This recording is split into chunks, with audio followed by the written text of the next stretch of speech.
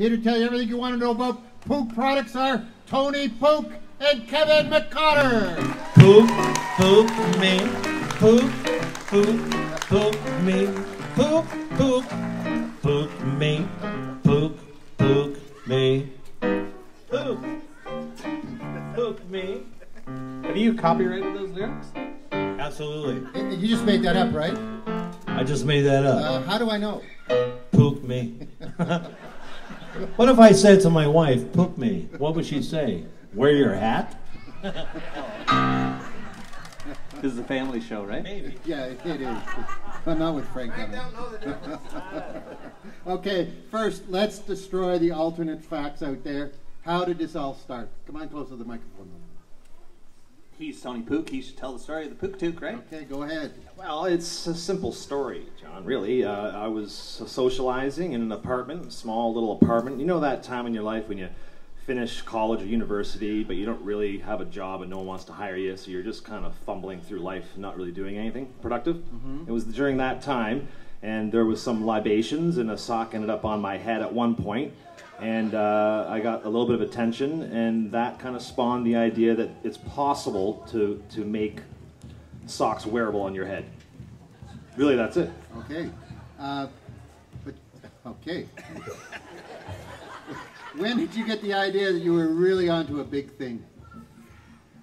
Uh, I'll field that one.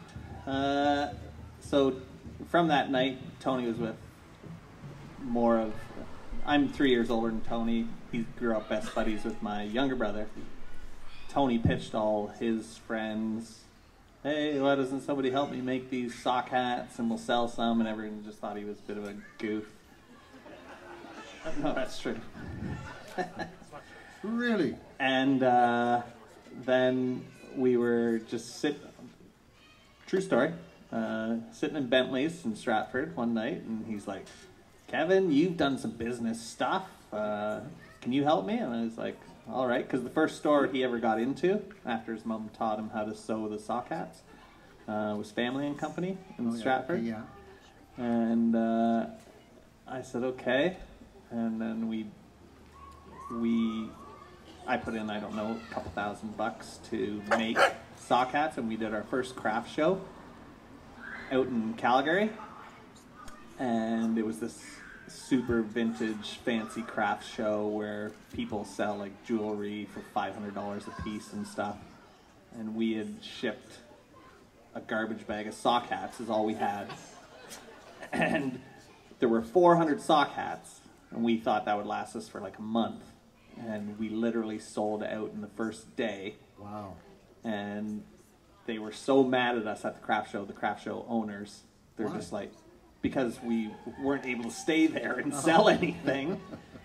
and so we sold out in the first day, and we just went, I think uh, sock hats might work. Got something here. Yeah. Okay. Uh, what was the most di- difficult thing in starting your business? Uh, working with Tony. you? I I would say working with Kevin. Uh, we are polar, polar, uh, total polar opposites. Yeah. You know, like I enjoy the fruits of life, and I like colors and mountains and music and love, and I cherish things. And Kevin just. He just doesn't like anything. He doesn't like anything at all. You've got There's not a single thing that he likes. So it's hard to get along with someone like that. I'm really just curious. Are there anybody? Is there anybody out there who was there during the original night when this thing happened? It, you don't seem to have many friends. Just her husband. Okay, very Greg good. Robson was there. Okay. He's a local. What What's the hardest thing you face now with your business? Uh, just deciding how big to get or how to get big. I or bigger. The, cha- the challenge is to keep coming up with new things, right? Um, eventually, everyone you know will have a sock hat, and then what's next, right? So you always have to be on top of that and making new stuff and trying to think of something else that'll work, and so that's always a challenge. Okay, so you were on Dragon's Den. Tell us about that. The one thing about Dragon's Den that people should know is like basically none of those deals really even happen. It's all TV. Everyone's lying. It's all lies. The whole thing is a lie. Don't believe it. They cut it, they edit it, and they. I remember watching it, and I'm like, I didn't make that face after he said that. I know I didn't make that face. And so, and, and they're very good, they're very friendly, and they're asking about your family, and everyone's happy and laughing. And all of a sudden, you watch the episode, and they're angry at you, and they're calling you crazy, and Kevin Kevin's crying at one point. So it's sort of like fake news. It's fake news. Fake news. Yeah. So Okay. we, we got a deal on- with, with on the one time we were on there, and uh, it uh, it didn't pan out, just like every other deal doesn't pan out. Very few of them do, but it's good television. Yeah, but you got a good exposure from it, right? Great, yeah, that was great exposure. It was re- really big for us, actually. How you doing there, pal? Okay, yeah, so you started with the original product. How did you come up with the other ones? Because some are pretty crazy. Have you met Tony Pook?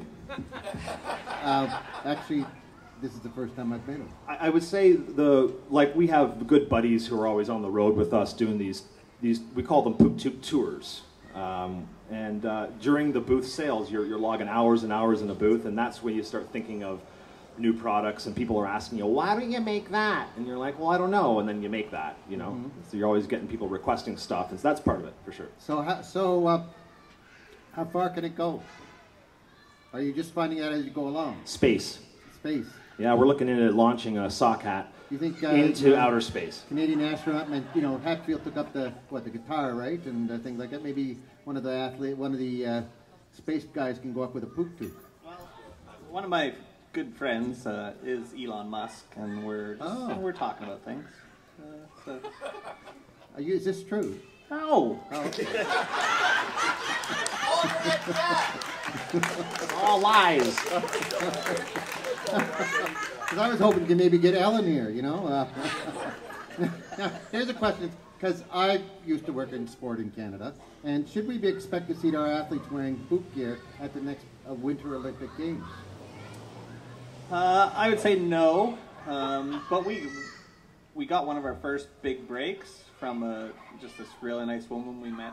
We meet so many people doing like these shows. We met an amazing woman that worked for HBC, and she's like, "Why don't you come in and talk to us and stuff?" And we thought all of a sudden we were going to be making Olympic gear. And Prince Harry was going to wear it at his wedding. Uh, but we ended up getting like an HBC deal where they did put us in a bunch of their stores, and uh, so we were in HBC for a while. But you're competing against like Nike and Roots and all that sort of jazz. Mhm. So, uh, but we have had a lot of good breaks and met a lot of good people that have helped us. Now, now tell me about some of the, the products you make. You make the Pook toque. What else? Well, Tony, I would suggest you stand up and uh, show one of our newest. Is, is, there, is there anything under apparel. this, by the way? No. John, that's an after hours show. Uh, but this is our reversible faux fur lingerie robe bath coat. I think John was going, ooh, ah. It's almost like P. Diddy and Hugh Hefner had a baby. Okay, wonderful. and what else do you make? Well, you know, an assortment of products, John. You know, we from sock mittens and um, f- you know uh, slippers with rubber grip on the bottom, uh, so people won't slip and slide if they have a few cocktails at night. We have uh, onesies with fully functional butt flaps. A onesie without a fully functional butt flap is a pointless piece of fabric. Okay. So throw in the garbage. You need a fully functional butt flap. Those are big. Um, baby sock hats and dog jackets and uh, what else? And we have got? dog booties. I think I think I saw a dog booty there. Yeah, nice booty actually. Those actually weren't dog booties, they were baby mitts, but I asked the woman to put them on the dog. People come up to us and they go, Do you have any dog stuff? And we're like, Yeah, just shove these on your dog's feet. there we go. Maybe the microphone is, uh, you know, in windsock. So that, that's what we call uh, pookie dookie. Uh, but yeah, perfect for dogs' feet. Maybe you can make a dog waste picker up called a Pookie Poopy. I already thought of that. How come he gets more laughter than I do? I don't understand. Okay, well, we want to put something on St. Mary's Life for people in St. Mary's to come up with some new ideas. Here we go. I thought of a, for Australia, uh, a boomerang holder. I thought that would be good. Don't want to deal with the time difference and operating out over there. Okay. Adam Wheel came up with a backpack that turns into a sleeping bag. Uh, I totally suggest Adam Wheel starts up a company that uh, builds backpacks that turns into what? A sleeping wheel? Sleeping bag, yeah. yeah. Courtney Luke suggested Pook Christmas stockings and blankets. Courtney is right on the mark there. We actually have a new Pook blanket coming out soon. Faux fur. And no one's ever done plaid faux fur before. We're really excited about it. We were actually featured on Fabric Quarterly. Do you subscribe to that magazine? Uh, can't say I do. It doesn't exist. Okay. But if it did, we would be featured on it.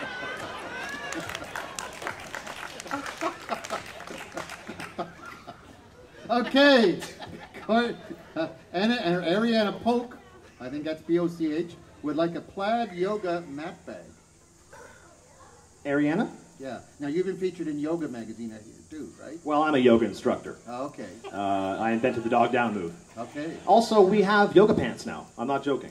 Uh, they're sensational. They have a disintegrating plaid uh, print and multiple pockets, and uh, they're great for working out. Kevin's addicted to working out. I'm addicted to working out now. It's uh, it's healthy and they're sensational. So yeah, we have those. Okay, great. Now, you're men about town. You're from St. Mary's first, uh, right? You grew up here. Uh, I grew up about uh, 200 feet up the hill, and I used to swim where everyone's sitting right now. Uh, we're, we've gone metric in this show. Metric. We've gone metric in this show. Did I use You said some? 200 feet. Oh, sorry. How many meters? Uh, like one. Okay. Okay. Um, and where did you grow up? He went to St. Mike's. I, I grew up uh, something like three meters past Kevin's place. And when did you meet him? Uh, we met. I don't know. I can't even remember. We, I, I, I used to hang out here with his younger brother. Was I went to school with him. So the McCotters and the Pooks have always been family friends. So basically, our, our whole life. Okay, wonderful. And you still friends? Well, no, no, we never became friends. We, we actually kind of don't like each other at all. Okay. And that's one of the beauties of our relationship. Now, one of you lives in New York, right? Yeah, I live in New York now. And where do you live? Uh, Toronto. Toronto. But you come back. You came back exclusively for the front porch show, didn't you? Yes. How would you turn down the front porch show? I, I don't know. Uh, no, I'm in. Uh, I live in Toronto, but I come back. Family's still here, and uh, I love golfing at River Valley Golf Club. River Valley Golf Club. What have you learned about in life? The philosophical. We're, we're going to get philosophical here, okay? You're into that? You can do this? Yeah. Okay.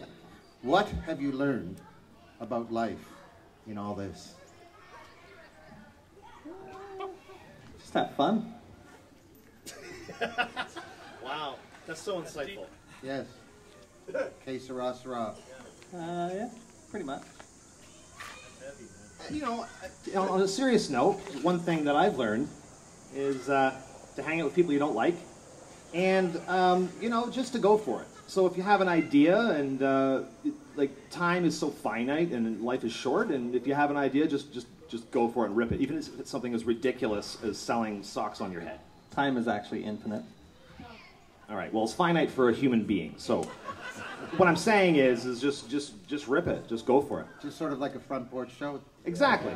Yeah. You just go for it. There's no point in holding back on it, right? See what happens. Lanny, good example.